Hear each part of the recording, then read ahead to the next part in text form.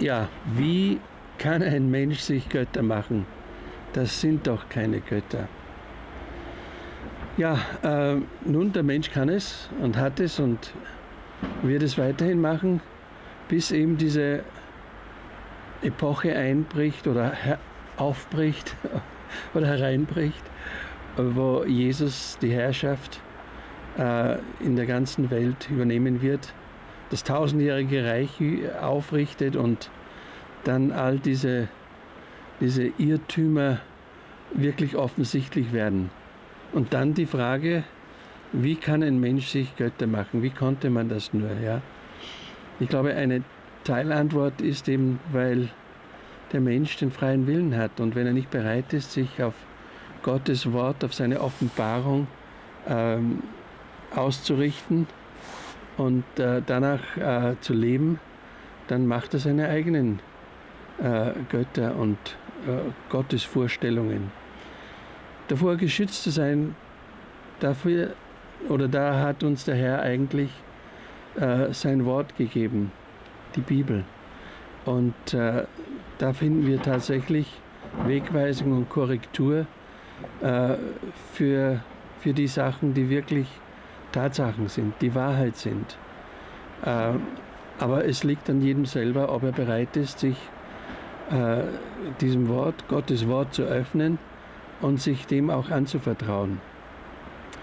Aber wenn er das tut, dann äh, ist ein Prozess in Gang zu setzen, von dem der heutige Lehrtext uns auch hilft und aufzeigen äh, will und, und es auch tut, nämlich darum tötet alles, was nur auf dieser Erde oder auf diese Erde gehört und euch noch in den Gliedern steckt.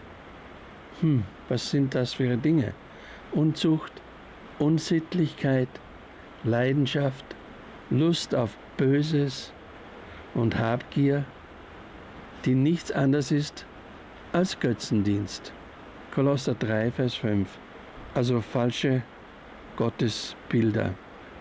Und einer, der Jesus annimmt und bereit ist, auf Gottes Wort sich wirklich auszurichten, hat ihm diesen Prozess vor sich, alles abzulegen, zu töten, sagt äh, Paulus hier den Kolossern, was, äh, was in den Gliedern steckt, also das, das sündige Wesen im Menschen drinnen, nämlich, und das habe ich ja schon vorher erwähnt, ne?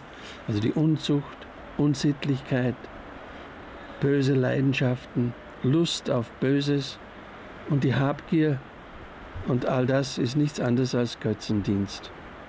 Ähm, ich glaube, da hat jeder von uns in irgendeiner Weise auf irgendeiner Ebene noch diesen Kampf zu kämpfen. Und da möge uns der Herr auch heute wieder dabei helfen durch seinen Geist.